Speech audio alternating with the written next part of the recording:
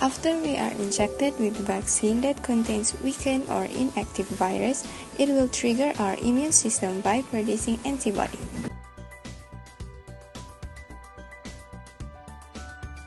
Antibody is a protein that circulates in the blood and throughout the body. The body is left with a supply of memory that will remember how to fight against the virus in the future. So, when the virus enter our body, the antibody will fight against the virus to prevent us from getting sick. It means that we are immune.